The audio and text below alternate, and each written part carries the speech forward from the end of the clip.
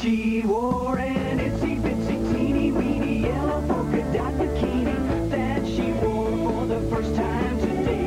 An itsy bitsy teeny weeny yellow polka dot bikini that she wore for the first time today. New news from Yoplait Light.